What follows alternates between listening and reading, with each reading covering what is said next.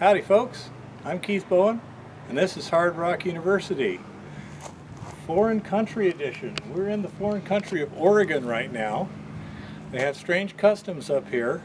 We're here for the eclipse and uh, it's kind of cool. We'll do a video on that too because it's, it's a really interesting situation. But while I was in the area, we have one of our students at Hard Rock University here, Brian, and they have a very, very challenging ore that they wanted to see if I could help them out on. And in fact, directly I have not been able to give them any help at all. Back here in the back, you'll see we've been doing a little work with the hand panning and such. Now this ore has around five ounces to the ton or more of gold and a couple hundred ounces silver and there is zero observable free milling gold. Now, two possibilities for this. Number one is, in fact, all the gold is very fine and crystal locked. From the grind that they had, it would have to be extremely fine because they ran it through an impact mill. We had, you know, basically everything is 30 mesh minus, lots down to 100 mesh, and there was like nothing there. Another possibility, there is a lot of silver in this ore there may not be any yellow gold visible. But what we may have is something called electrum. It's a gold-silver alloy.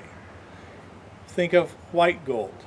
Now, since we have a lot of white shiny uh, minerals in there, it would not be very easy to detect.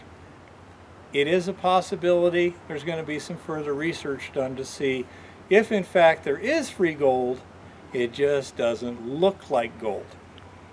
Now, there's also arsenic in this ore. That's a serious issue. You have to wear breathing protection. You have to be careful if you're using any kind of a solution dissolving anything because you're going to make a soluble arsenic compound sure. which can be extremely toxic and very difficult to get rid of.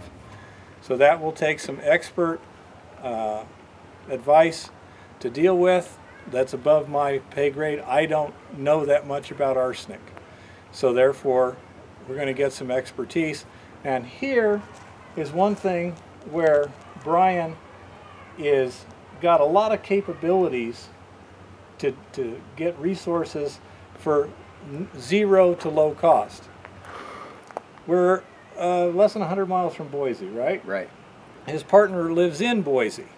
That is a state capital. You're going to have some kind of something the Boise Geological Survey, I mean the, the Idaho Geological Survey, Bureau of Mines and Mineral Resources, something to that effect. There are people in that city that work for the government, that work for Brian and the rest of those taxpayers. His job is to figure these things out and in many cases you can go and you can get a little free advice. If you talk nice and you ask around, you find out who the people that deal with the public are. And you just go in there and say, hey, what's with this rock? Or here's my analysis. What do I need to, to be careful of here? That sort of thing. So you got a university there, you've got the state capitol, you've got all kinds of government agencies. And he is going to do a lot of research on that, he and his partner, to find out what kind of assistance they can get. Um, the other thing is there was more than one type of ore there.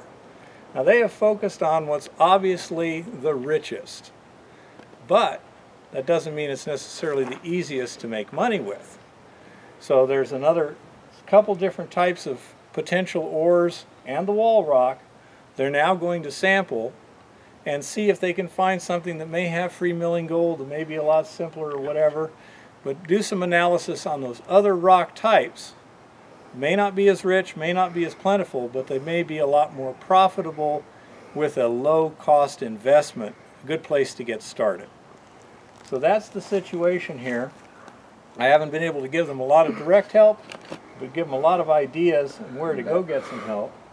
And hopefully they'll be able to turn this into a profitable mine in the not too distant future. But you have well, let's see. Your entrained value is somewhere between five and ten thousand dollars a ton. Right. So there's lots of options that are theoretically possible here. They're trying to optimize it. And uh, I think they've got a lot of good ideas. They've got capability. His partner is a welder and things like that. So I think they're going to be able to make it work. We're just trying to make it as profitable as possible. I like it. Thanks, Keith. You betcha. Appreciate Brian. you coming by. Oh yeah, and it's a great place you got here. It's a it's an interesting place. This is the this is Sumpter. Sumpter right? Bed and Breakfast. Yeah, Yep. this, he's running the Sumpter Bed and Breakfast up here in Sumpter, Oregon. It's very pretty up here. Nice weather right now. We're going to have an eclipse tomorrow. Talk to you later. Keep it safe out there and happy prospecting. So that's the situation.